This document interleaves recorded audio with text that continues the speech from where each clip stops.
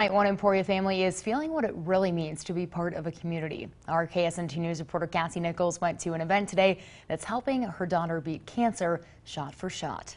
Three-year-old Breanna is a star battling cancer with a smile on her face. And some Emporia State basketball players are using their star skills to help her keep fighting. People can pledge a certain amount of money for each basket made.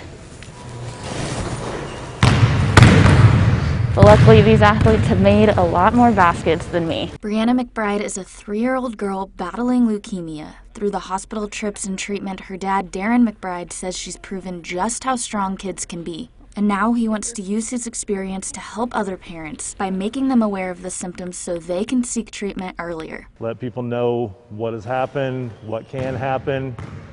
Uh, all that led us to this was we thought our daughter was getting too many bruises and they weren't healing quick enough. The saying, once a hornet, always a hornet, is true now more than ever. McBride graduated from Emporia State and worked in the athletic department as a student.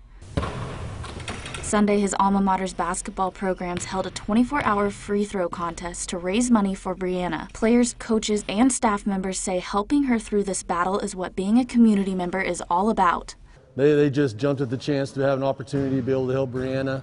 Uh, one of our seniors, Callie, got a chance to meet her, and uh, when Breanna had a basketball in her hand, I mean, her eyes just lit up. I think the most telltale sign is that our student athletes, if you go to the GoFundMe page, are donating themselves. And for them to be that selfless as college students, to feel this connected to the cause. While it was a competition between the men and women of Emporia State, there were two clear winners in the end. Breanna, who won the hearts of the Emporia State community, and her family for the newfound support and friendships they've made.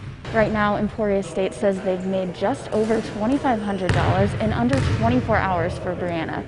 In Emporia, Cassie Nichols, KSNT News.